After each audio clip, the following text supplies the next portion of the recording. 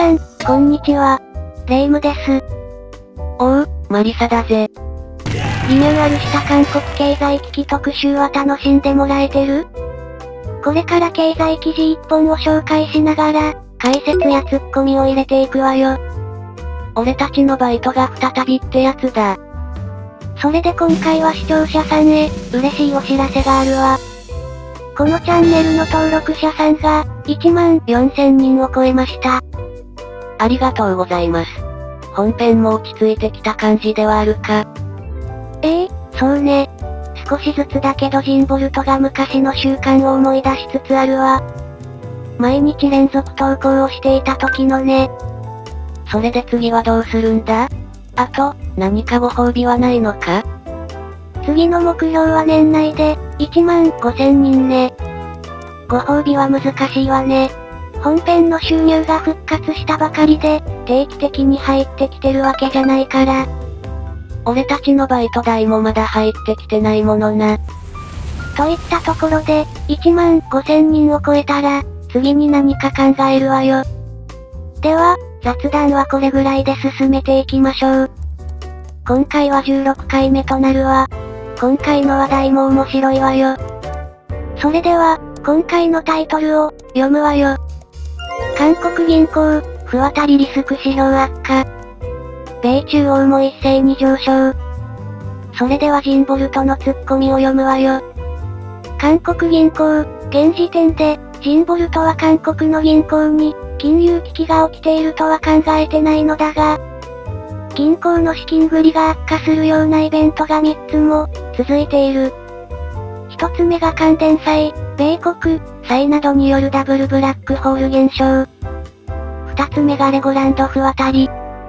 3つ目がフングッセンミョン5億ドルの、コールオプション行使見合わせであるが、これらのイベントが周りに回って、韓国証券市場を効率化せて、韓国銀行の資金繰りを悪化させる可能性は十分考えられる。しかし、それでも金融危機にまで至るようなデータはない。今回、紹介していく CDS プレミアムの急上昇も慌てるような数値ではない。実際、CDS プレミアムはリーマンショックの時でも大きく取り上げられたが、それよりも今の韓国ははるかに低い。でも、急上昇した事実が、上の3つのイベントが関連しているなら取り上げておく、必要があるだろう。といったところで記事の要点を、整理していく。記事の要点や、引用はマリサの担当よ。おう、今回もしっかり読んでいくぜ。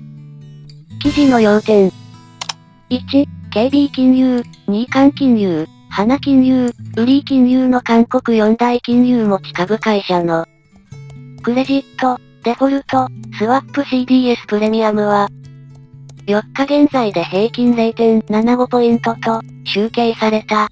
昨年末の0.22ポイントより3倍以上上昇した。2、CDS プレミアムが、高いということは投資家がその国や、企業の債券の不渡りリスクを、大きいと見ているという意味。3、韓国銀行の基準金利引き上げにより貸し出し金利が、上昇し、都市銀行の借主の債務不履行リスクが大きくなったのが CDS プレミアム上昇につながったと分析される。また、カンゴンドがレゴランドの支払い保証義務を履行せず、保険会社のハイブリッド証券の早期償還拒否などで、韓国の金融市場に対する信頼が下落したことも影響を与えた。4、ただ銀行業界の CDS プレミアムが上昇したのは韓国だけではない。各国の政策金利引き上げにより世界的に上昇傾向を見せている。5、国際金融センターは世界的に急激に利上げがなされ銀行の CDS プレミアムが上昇傾向を見せている。利上げが銀行の余貸金利差の側面では肯定的だがあまりに急激に上がり、借主のリスク度が上がり健全性の側面に否定的影響を与えたと指摘した。6、BNK 証券の、キム、イン研究員は、韓国の金融持ち株会社の、格付けは最高水準。CDS プレミアムは短期的な資金の流れに影響を及ぼす指標に過ぎず、大きな意味は付与しがたいと話した。以上の6つだ。順番に見ていこう。1については韓国の銀行の CDS プレミアムが上がっていると、平均は 75bp、ベーシスポイントですと。CDS プレミアムの数値について、解説する。CDS プレミアムそのものは説明が超大変な金融派生商品で、国や企業が不当たりとなればその損失を補填するというもの。一種の保険みたいなものだが、仕組みが複雑すぎて理解できる人はほとんどいないだろう。実際、欧州の銀行、ドイツの銀行が過去に CDS プレミアムが爆発するのかと言われたが、コロナ禍で消し飛んでしまった。金融危機後にはその市場規模は縮小したのだが、未だにすごい額の CDS が取引されている。あと、ウクライナ戦争が始まった時、世界中がロシアに経済制裁を加えたわけだが、その時に CDS プレミアムが 750bp などに跳ね上がった。でも、実際、ロシアがデフォルトしたわけでもない。ちなみにわかりやすい数値を述べれば 200bp ぐらいまで上昇しても問題ない。しかし、それ以降が注意が必要だという認識だったはずだ。だから、韓国銀行の 75bp はそんな高いものではないが、昨年より3倍以上も増加している点は注目だ。次に2についてだが、これはそのままの意味だ。CDS プレミアムの数値が高いほど不当たりリスクが高い状況であると。そして次に3となるが、では、銀行の CDS プレミアムが上昇している理由は何か。今年、官銀が米利上げやインフレ抑制のために、政策金利を一気に上げたことで、貸し出し金利が急上昇した。不動産購入者の7割が、変動金利であることはすでに、解説したが、これによって借り主の債務不履行リスクが、大きくなったと。これで韓国の不動産価格が、急落しているわけだが、実はもう一つ知っておかないと、いけない側面がある。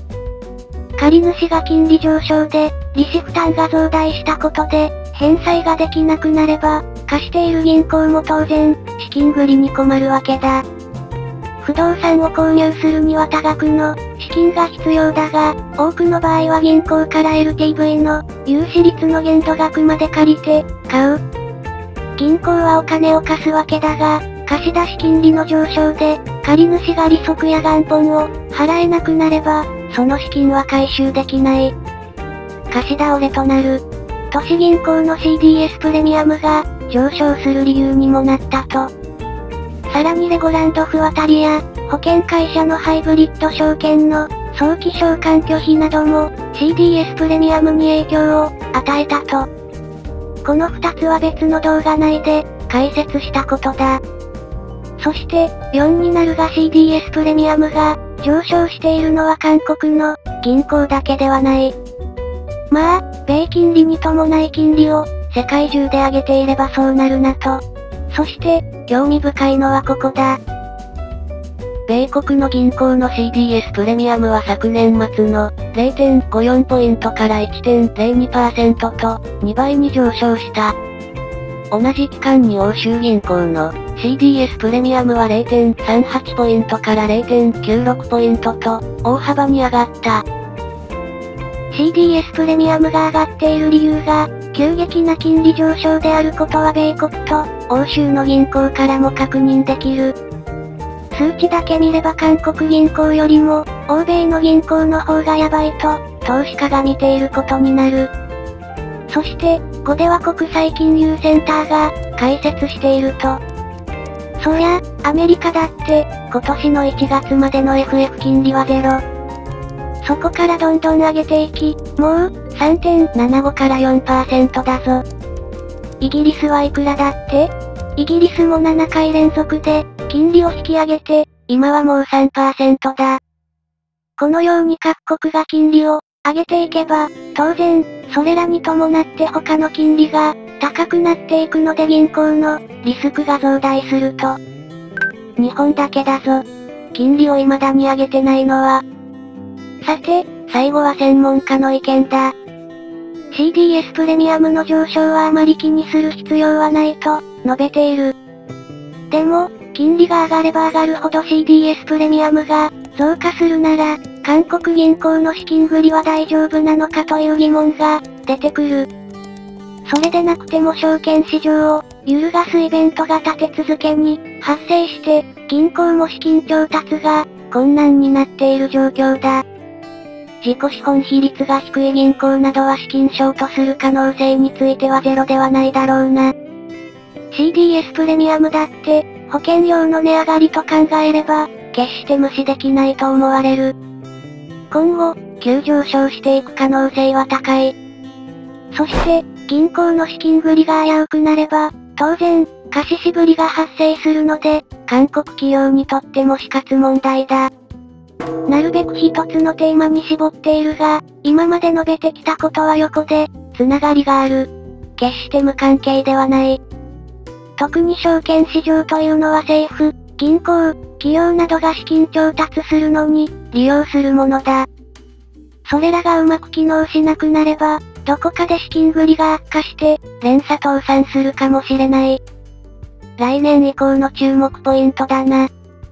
金融関連なので、取り上げる話題が難しいと思うかもしれないがなるべく丁寧に解説していくので頑張ってほしい。ニュースは以上ね。それで、マリサ。最近、ウォンがすごく上がっているのは知ってるわよね？おお、気がついたら1370ウォンだもんな。先週は1430ウォンだったような。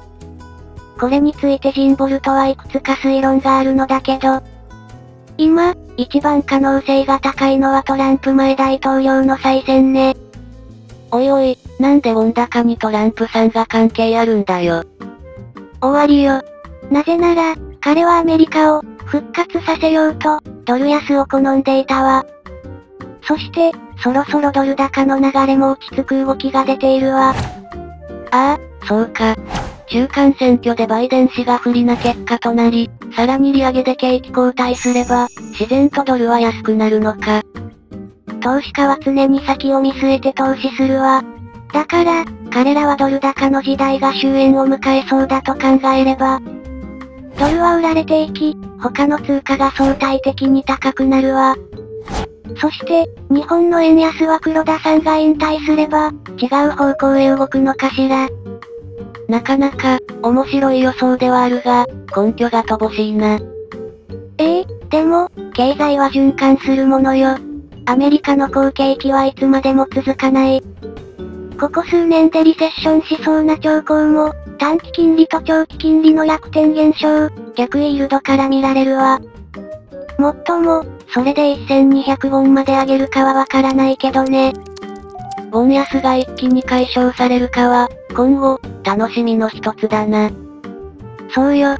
そして、ジンボルトが述べた、ウォン安よりも、日本の円安が脅威だという事実が証明されたらいいわね。